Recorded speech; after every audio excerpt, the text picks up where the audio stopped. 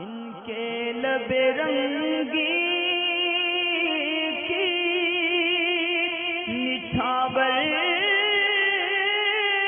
थी कि जिसने हैदराबाद से एक भाई इन्होंने ये पूछा है कि फ्री फायर गेम खेलना कैसा है इन इस्लाम सवाल बड़ा ख़तरनाक है फ्री फायर गेम खेलना। असल मैंने इसका नाम तो पहली बार सुना है फ्री फायर गेम क्या होता है इसमें, किस किस्म की बातें? लेकिन इसके नाम से ऐसा लग रहा है कि शायद इसमें सामने वाले टारगेट को मारना होता होगा।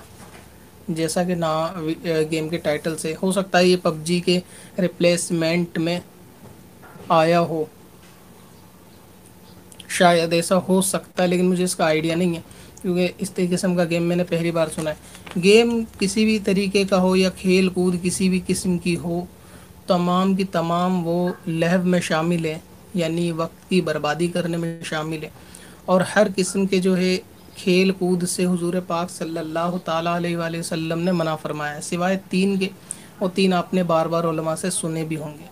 उनके सिवा वो तमाम वो चीज़ें जो वक्त को बर्बाद करें दूसरे फ़राइज़ से बंदे को रोकें वो सब गेम खेलना ही मना है। यानी कि अंडरस्टूड सी बात है गेम के ताल्लुक से कि अगर कोई बंदा गेम खेलता है, ख़ासतौर से एंड्रॉयड में खेले जाने वाले ये पबजी या दूसरे किस्म के जो गेम होते हैं ना, ये बनस्बत उसके ज़्यादा ख़तरनाक हैं जो प्ले ग्राउंड में खेले जाएँ। मसलन ये कि चलो कोई वक्त, कोई एक्सरसाइज की तौर पर बंदा फुटबॉल वगैरह खेलता है कुछ वक्त के लिए और उसके अंदर सित्र का ख्याल रखता है। साथ में ये कि उसकी नमाज़ वगैरह का कोई मसला नहीं होता। और ये मुद्दत भी कम होती है और इसकी हमेशगी भी नहीं होती है।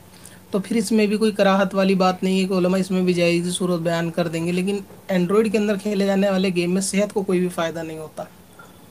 यानी इसमें कोई भी माइंड का भी फ़ायदा नहीं होता, सेहत का भी नहीं होता, बल्कि स्क्रीन को लगातार देखने के जो है वो नुकसान ज़्यादा होते हैं। ख़ास तौर से रात में इसके नुकसान ज़्यादा होते हैं कि अगर रात में लोग जो मोबाइल चलाते हैं सोने से पहले तो उनकी फिर नींद की शिकायत अक्सर रहती है कि उनको नींद नहीं आती। यानी जिस टाइम सोने का वक्त होता है ना कि कुदरती तौर से जिसम के अंदर एक नींद तारी हो रही होती है और ऐसे वक्त में अगर कोई बंदा फौरी तौर से नहीं सोता, वो जबरन जगने की कोशिश करता है अपने माइंड को और जिसम को जगाने की कोशिश करता है तो ऐसी सूरत में फिर उसको नींद नहीं आती बाद में। आपने देखा भी होगा कि बहुत सारे मामलों में खुद भी आपने महसूस किया होगा, कभी ऐसा होता है कि जब आप सोने की कोशिश करते हैं, अगर नहीं सोते तो उसके बाद आप सोने की लाख कोशिश करें, आपको दो दो घंटे बिस्तर पे करवट इधर से उधर लेते हुए बदलते हुए वक्त निकल जाएगा, लेकिन आपको नींद नहीं आएगी। इसी तरह कभी रात को दो बजे, एक बजे आँख खुल जाएगी तो भी फिर जल्दी नींद नहीं आती। तो मोबाइल के अंदर गेम खेलने के तो नुकसान वैसे ही है कि आदमी वक्त को बर्बाद ही करता है तो ये तो वैसे भी जायज़ नहीं है। अच्छा आवाज़ का वॉल्यूम थोड़ा कम है।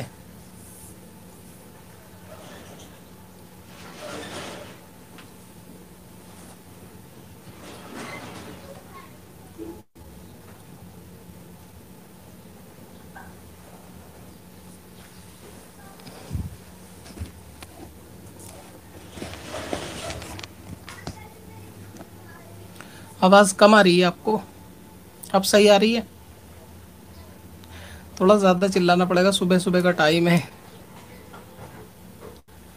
छत पर आवाज़ तो अच्छी आती लेकिन छत पर अभी हवा भी चल रही है, चिड़ियाँ भी होंगी, और शोरगुल भी रहता है।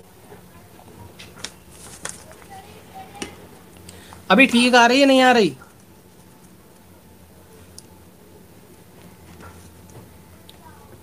चिल्ला चिल्ला के बात करनी पड़ेगी। तुम्हारे स्पीकर खराब है सबके मोबाइलों के गेम की बात चल रही थी। बुलवा दिया। तो फिर उसके अंदर क्या है कि वक्त की बर्बादी भी होती है। और अक्सर आपने देखा होगा जो पबजी सब्ज़ी वाले हैं ना, सब्ज़ी मतलब पबजी वाले और ये जो खेलने वाले हैं, सब्ज़ी वाले नहीं। तो ये गेम के अंदर इतने मगन होते हैं ना, इनको दूसरी ज़रूरत का भी एहसास नहीं होता। और आप इसको अल्लाह ताला की तरफ़ से इनको जो है ना, तौफीक नहीं मिलती नेक काम की। आप खुद इमेजिन करें कि कोई बंदा काम वगैरह से फ्री होकर रात में एक आध घंटे जो है वो पबजी खेल रहा है। वो उसके बदले में कोई दूसरा काम भी कर सकता है, लेकिन उसको ये तौफीक नहीं दी जा रही कि वो कोई ज़िक्र करे, दुरुद पाक पढ़े। अगर आप बिलफर्ज उससे ईशा की नमाज़ के लिए कह दोगे तो आओ, वो कोई भी शख्स मतलब ना पढ़ने वाला नमाज़, वो बहाना बना देगा कि नमाज़ निकल गई। हालाँकि ग्यारह बारह बजे रात को भी ईशा का टाइम होता है तो बंदा रात को एक घंटे तक, दो घंटे तक गेम के अंदर बैठकर पूरा टाइम निकाल देगा दो दो घंटे तक, लेकिन वो ईशा की नमाज़ जो है पंद्रह मिनट में नहीं पढ़ सकता। तो ऐसे लोगों की बदनसीबी, महरूमी भी है जो गेम खेलते हैं कि एक तो अल्लाह रसूल के ज़िक्र से भी लोग दूर रहते हैं। और फिर वाकई इनको अपनी बदनसीबी पे सोचना भी चाहिए कि अल्लाह ताला ने इनको इबादत की, ज़िक्र करने की तौफीक भी नहीं दी। तो इन लोगों से तौफीक जो है वो लहव में मुबतला होने की वजह से छीन ली जाती है कि ये खेल कूद में इतने मुबतला होते हैं कि फिर इनको उसी काम में रखा जाता है। और इनमें उनको ख़ुद को यानी लज्जत ये लोग महसूस कर रहे होते हैं, हालाँकि इनका नुकसान होता है। तो अब ये कि गेम अगर बंदा इतनी देर तक खेलता है कि रातों को जगेगा, गेम खेलने के लिए, और अक्सर होता भी यही है कि गेम जो है वो रातों को ही खेले जाते हैं। तो इसमें फिर सुबह फजर का पढ़ने का तो कोई यानी गुमान ही नहीं है। तो हर वो काम के जो बंदे को रात को जगाए और उस जगने से फजर की नमाज़, उसकी कज़ा हो जाए, ये जायज़ नहीं है। तो इस किस्म से गेम खेलना वक्त की बर्बादी है, नाजायज़ काम है, गुनाह का काम है, जो लोग ऐसा करते हैं। उनको चाहिए कि खाली वक्त में दरूद पाक या ज़िक्र कर लें। अगर ये भी नहीं कर सकते तो कज़ा उम्री मुकम्मल कर लें। अगर ये भी नहीं कर सकते तो कुछ इल्म दीन वगैरह सीख सकते हैं, अपनी नमाज़ें जो है वो पूरी कर सकते हैं। तो आप अक्सर ऐसे लोगों को जो गेम वगैरह मुबतला होते हैं, वो ऐसे ही होते हैं, यानी इसमें पूछना जायज़, नाजायज़ वाले इन लोगों के लिए सवाल करना मेरे हिसाब से तो कोई अक्लमंदी नहीं है, क्योंकि ये वैसे भी बहुत सारे नाजायज़ काम कर रहे होते हैं, मसलन नमाज़ वगैरह, कज़ा करना, या फ़िस्क के अंदर मुबतला रहना, या आम सी इनकी बात होती है। और जो शख्स नमाजी होगा या इल्म दीन में अपना वक्त देता होगा तो ज़ाहिर है कि फिर वो इस किस्म के जो है गेम वगैरह के अंदर शामिल नहीं होगा। तो गेम कोई सा भी हो, वो नाजायज़ है। अब बहुत सारे लोग क्रिकेट वगैरह के ऊपर करते हैं कि उसके जायज़ है ना नाजायज़ है, जायज़ है, नाजायज़ है। फ़िलहाल मैं उसकी बहस नहीं कर रहा, लेकिन एंड्रॉयड गेम से जो है वो बचना चाहिए, फ़ोन में हो भी तो उसको डिलीट कर देना चाहिए। और जो ये वक्त है ना, ये अल्लाह तबारक वाली की तरफ़ से, यानी एक ऐसी नेमत है बंदे को, जो वक्त है कि क़यामत में लोग इसकी जो है ना बहुत ज़्यादा, यानी अफसोस होगा, उनको हसरत करेंगे कि इनके पास वक्त था और वो वक्त चला गया। एग्ज़ाम्पल के तौर पे आप काम काज से बिल्कुल फ्री हो गए।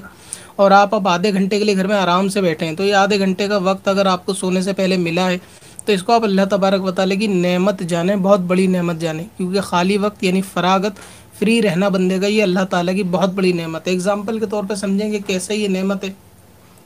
कि जिस वक्त आप अपने घर में बैठ कर तीस मिनट के लिए फ्री हैं, यानी सोने से पहले उसी तीस मिनट में आप इमेजिनेशन करें कि कोई शख्स ऐसा होगा कि जिसके घर का बंदा कोई बीमार हो तो वो अस्पताल में दौड़ा भागा दौड़ी कर रहा होगा, अस्पतालों के चक्कर लगा रहा होगा।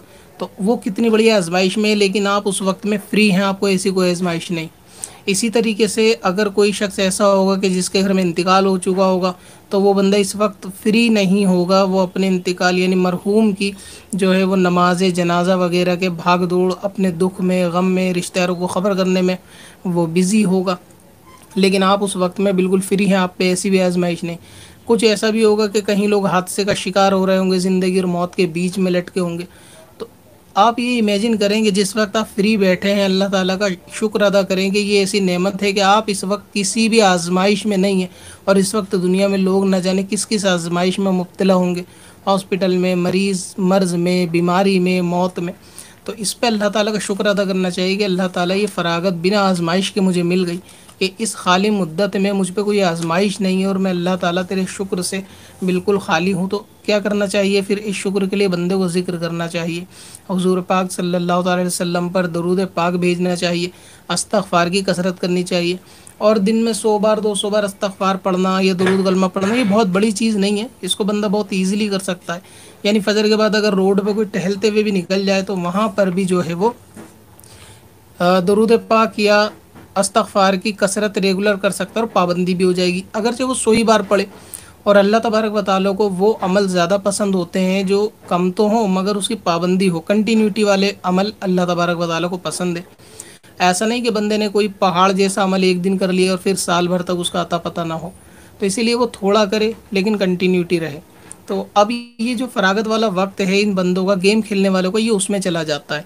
ये फ्री बैठ कर ज़िक्र भी नहीं कर सकते, कुछ भी नहीं कर सकते तो उस फ्री काम को ये गुनाह के काम में लगाते हैं गेम खेल कर अगर उस वक्त बंदा कुछ नहीं भी करेगा, खाली बैठेगा तो भी उसको गुनाह नहीं मिलेगा कि अगर वो अपनी नमाज़ से फारिग हो गया, सब चीज़ें उसने मुकम्मल कर लिया, वो चाहे तो अपनी आखिरत पे कब्र पे जो है वो फ़िक्र भी कर सकता है। गौर फ़िक्र कर सकता है लेकिन गेम खेलने वाले को ये तोफ़ी नहीं मिलती कि वो अपनी आखरत या कब्र में फ़िक्र करे और वो फिर इसी तरह खेल कूद वाले सामान में मुबतला रहता है।